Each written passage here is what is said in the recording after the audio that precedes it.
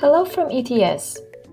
Today we are going to teach you how to force copy assignment in Canvas.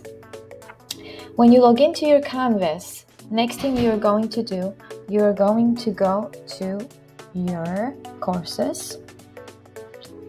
I am going to demonstrate in my sandbox, so I will pick sandbox course. Next thing, I'm going to go to assignments. I'm going to create test assignment. But your assignment can have any title you wish for your course. Test number one. Here in the body of assignment, you can describe what students supposed to do. Title, description, points you would like to assign for this assignment. This assignment is in a group of assignments. Display grade as points. And now, this is important part. You are going to click on external tool as the option for submission type. External tool. Next, you will click find Next, you will click Google Drive Cloud Assignment.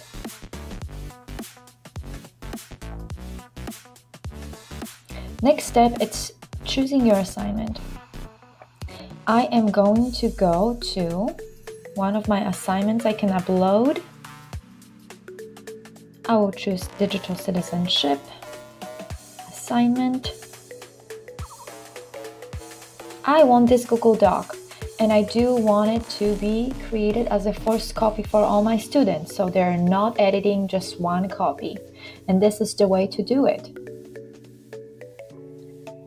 Submit. Select. And here we are. The next step is to choose a date when you want students to uh, have this assignment due and when this assignment is available for them to view from this date to this date. And then you have to click Save. Don't forget, always save. Save.